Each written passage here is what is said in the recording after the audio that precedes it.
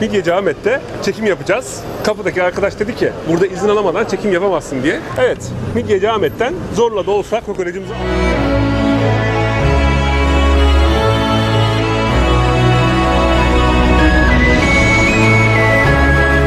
Herkese kucak dolusu sevgiler. Bugün günlerden kokoreç. Yepyeni bir formata başlıyoruz. Bu formatın adı 5 serisi. İstersek buna şehirlerin ileri deriz, istersek bir şeyleri savaşları deriz. Bunu zaman içerisinde beraber karar vereceğiz. Bugün İstanbul'da 5 tane kokoreççi gezeceğim.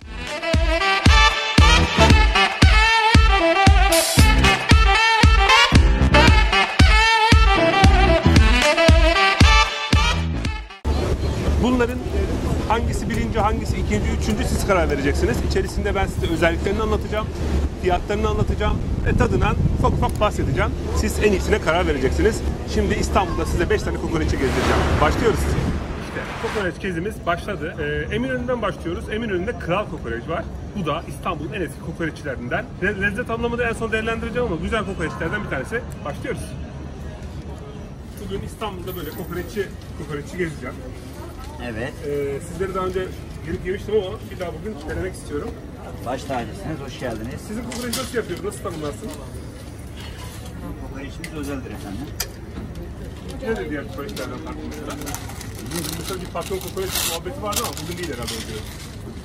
Bugün de var, her gün var o patron muhabbetimiz. Patron takmamışsınız ama Bugün takmadık evet.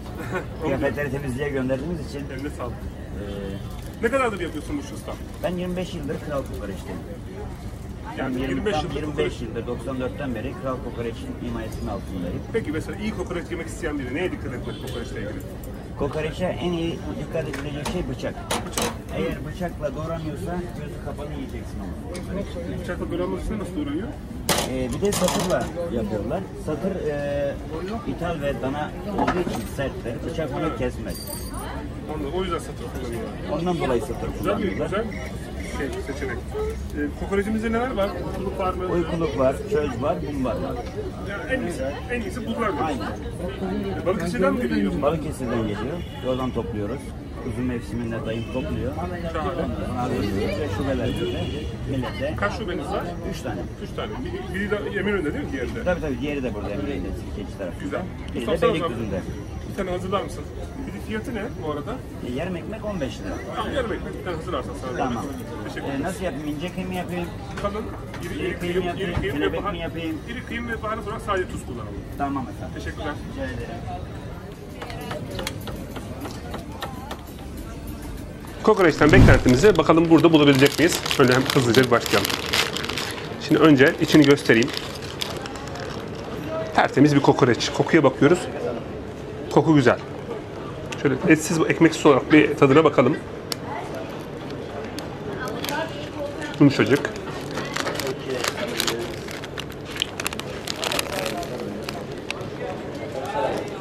Yağ oranı iyi.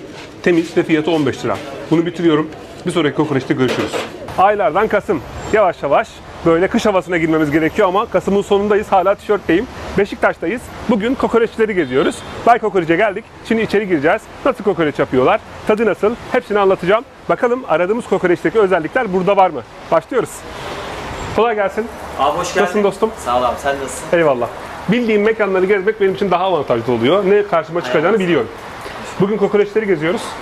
Ee, senin kokoreçini bir anlatır mısın? Ne, ne yapıyorsun? Nasıl bir kokoreç yapıyorsun? Abi bildiğin üzere uykuluklu yapıyoruz. İçerisinde sadece uykuluk var, çöz var.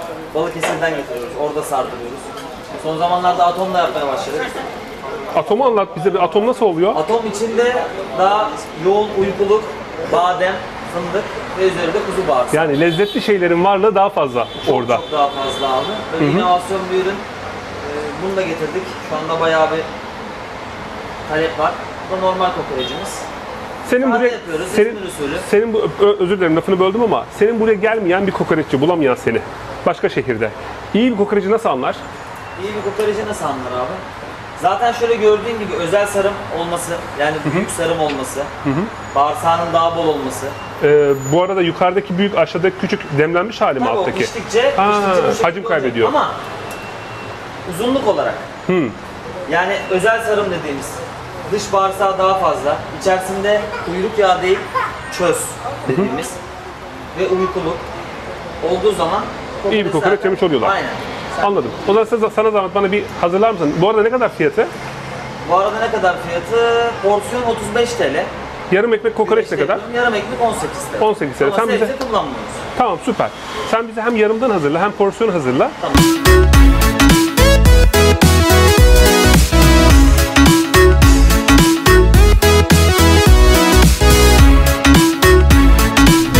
Diğer tarafta yarım yemiştik. Burada nereye devam ediyoruz? Tabii ki böyle güveçte porsiyon kokoreçte. Bunun fiyatı 35 liraymış ama bayağı bir kokoreç var içerisinde. Sunumu da güzel, daha sıcak kalıyor. Zaten böyle çok ince doğranmış kokoreci ben sevmiyorum.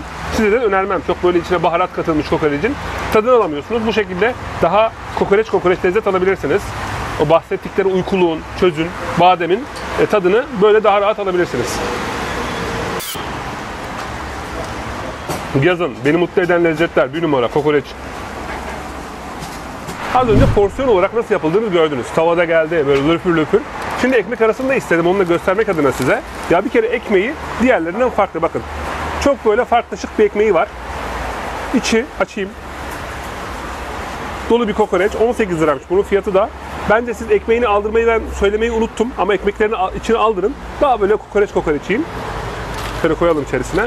Yanında da Türkiye'nin bence en iyi paketteki ayranı Özelhisar ayranı var. Ondan da isteyin ayran yanında güzel bir yancıdır o da. Şöyle. Şunun da tadına bakalım. Ondan sonra bu mekanı bitireceğiz.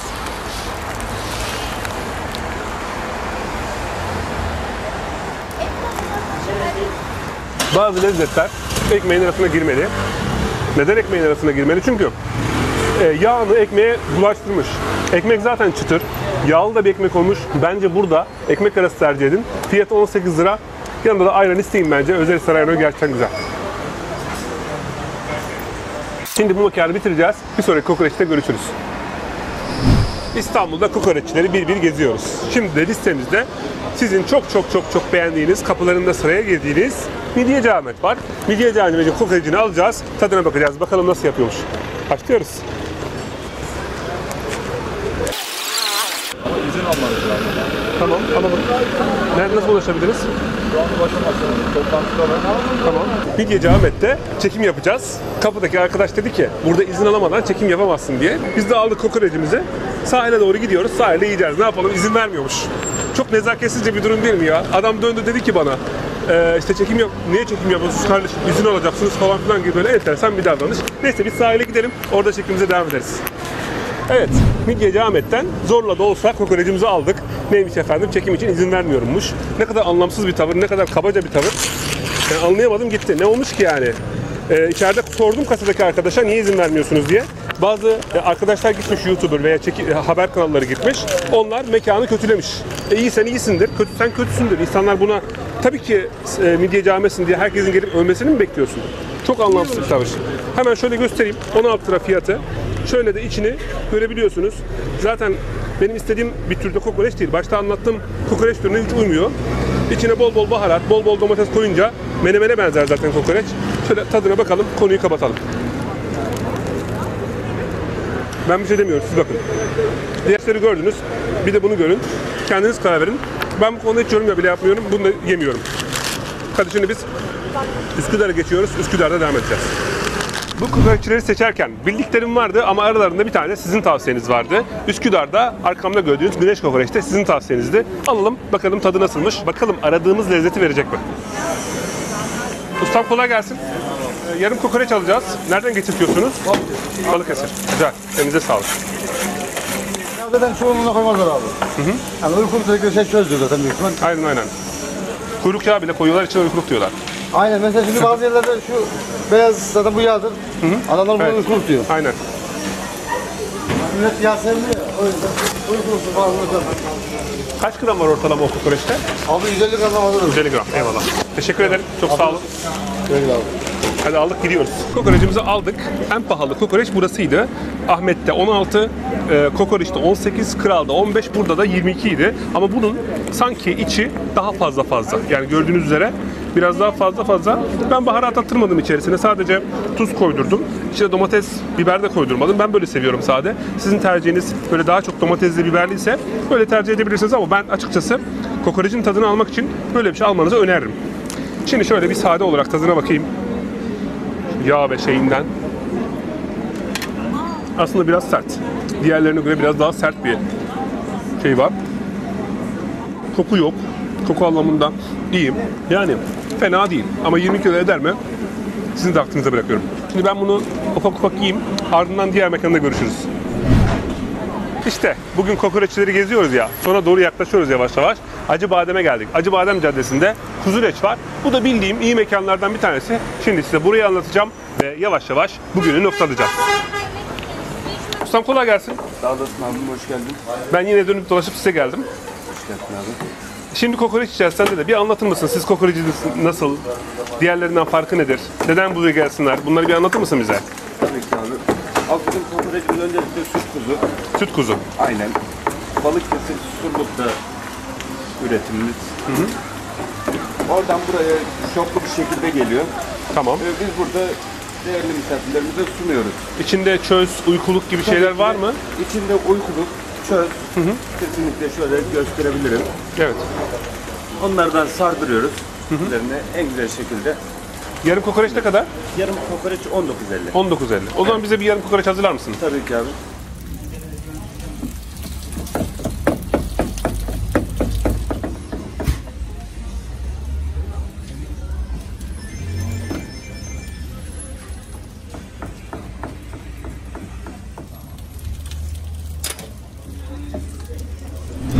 Yavaş yavaş günü toparlarken en sonki mekana geldik. Burada şöyle bir ekmeği var. Ekmeği bence özenle seçilmiş bir ekmek. İçerisini açıyoruz. Bu sefer biraz daha karışık yedim içerisine. Bir İzmir usulü yaptırmadım. Standartlarını yaptılar. Ekmeğin iç, içi de güzel. Malzeme de bence bol. Güzel bir malzemesi var. Hemen tadına bakıp ondan sonra yavaş yavaş videoyu kapatalım.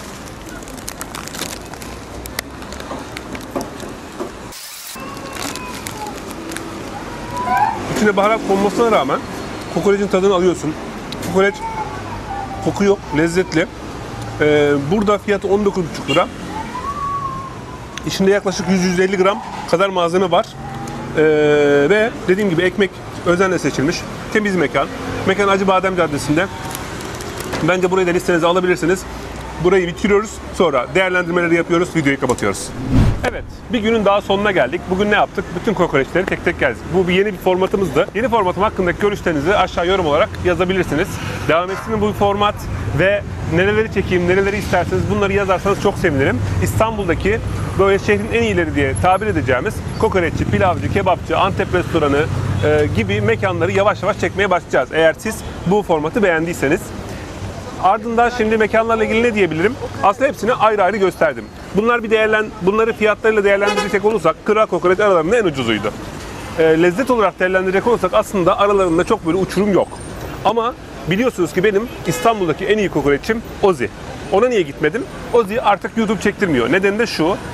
Ozi ile bir YouTube videosu yapmıştık hatırlarsanız. O videoda alta çok hakaret ettiniz adama. Adam da ondan sonra küstü. Yaptırmıyor. Ben de bugün Ahmet'e küstüm. Midye Cami'de mekanına gittim orada kaba bir adam koymuş. O kaba adam orada görüntü almamı engelledi. Dolayısıyla böyle bir video oluşturmuş olduk. Benim dediğim gibi yine Ozi birincim. Burada fiyat olarak e, ön plana çıkan Kral Kokoreç oldu. Diğer arkadaşlarımın da kokoreçleri güzeldi. Fiyat ortalaması 15'te 22 arasında. Değerlendirme sizin. Her bölgede farklı bir kokoreççi koydum. Bu mekanlara giderseniz bana yorum yapın lütfen. Gittim, beğendim, gittim, beğenmedim diye ben de sizlerin nasıl bir değerlendirme yaptığını da görmek istiyorum. E, yavaş yavaş videonun sonuna geliyoruz. Videoyu beğendiyseniz beğen tuşuna basmayı unutmayın. Diğer videoların size kısa sürede ulaşması için abone olmayı unutmayın. Instagram'dan beni Ayhan Mortop olarak takip edebilirsiniz. Beni izlediğiniz için teşekkür ederim. Bir, bir sonraki videoda görüşmek üzere. Sevgiyle kalın.